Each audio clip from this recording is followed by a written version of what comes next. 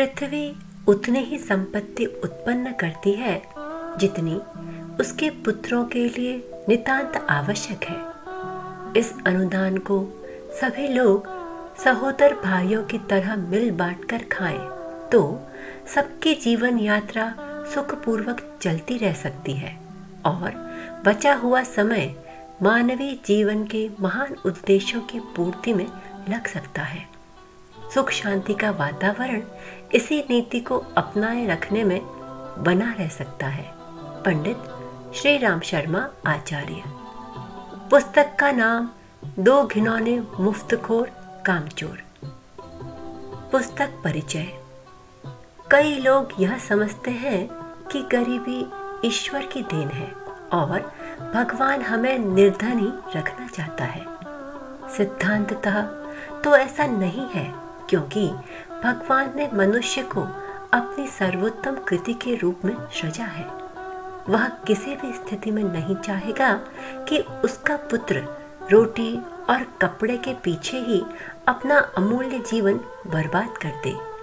जीवित रहने के साधन जुटाने में ही उसका जीवन चक्र पूरा हो जाए। लौकिक पिता भी जब अपनी संतान को दीनहीन निर्धन बने रहने नहीं देना चाहता। तो अलौकिक और सांसारिक पिता से सभी बातों में श्रेष्ठ परमपिता अपनी संतान को दीनहीन देखना क्यों पसंद करेगा? तो गरीबी से छुटकारा पाने का क्या उपाय है?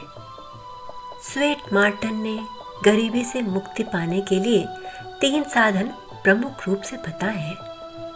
मन से गरीबी को भगाकर पूरे प्राण से समृद्धि को पुकारना।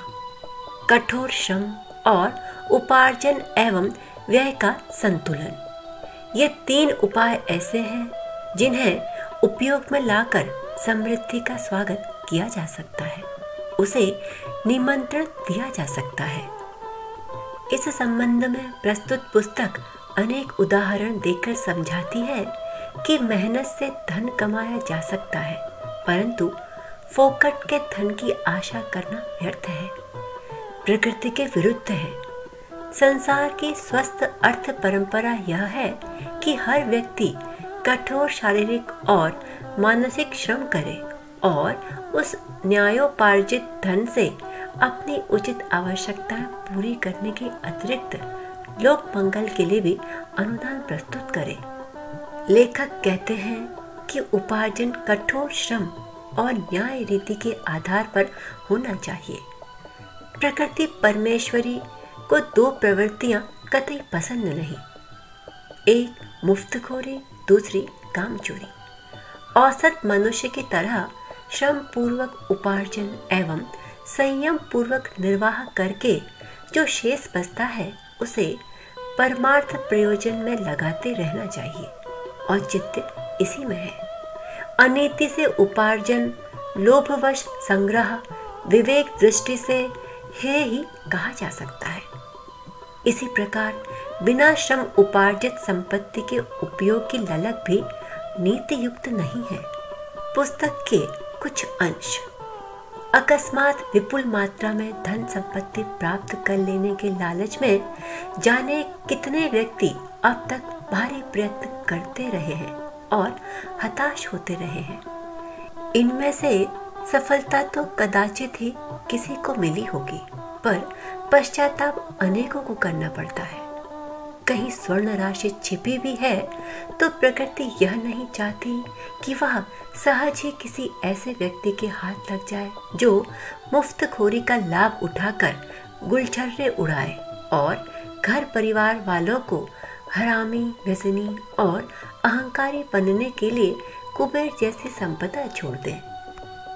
तत्वदर्शियों ने परिग्रह को सर्वप्रधान पाँच प्रमुख पातकों में से एक माना है और सौ हाथों से कमाने के साथ साथ हज़ार हाथों से दान करने का, सत्कार्यों के लिए समाज को लौटा देने का निर्देश किया है। औसत मनुष्य की तरह श्रम पूर्वक एवं संयम पूर्वक निर्वाह करके जो शेष बचता है, उसे परमार्थ प्रयोजन में लगाते रहना चाहिए, ताकि संग्रह का अवसर ही न आने पाए। औचित्य इसी में है। अनीति से उपार्जन, लोभवश संग्रह सामयिक आवश्यकताओं की पूर्ति में न लगाकर उसे उत्तराधिकारी के लिए जमा करने के लिए दाव पर रख देना विवेक दृष्टि से है यही कहा जा सकता है। फलता, फूलता वही धन है, जो परिश्रम और ईमानदारी के साथ कमाया जाए।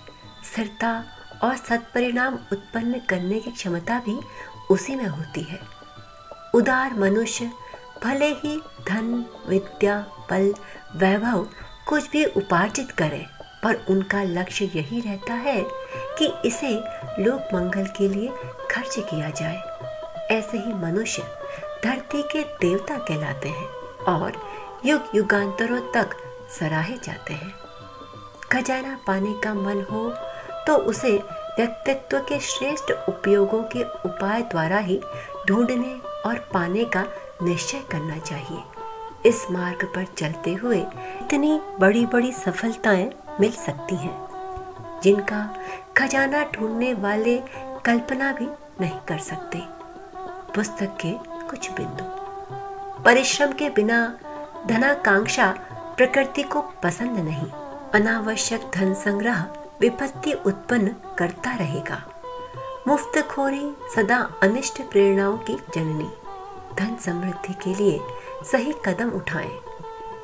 इतने पाँव पसारिए जितनी चादर होए।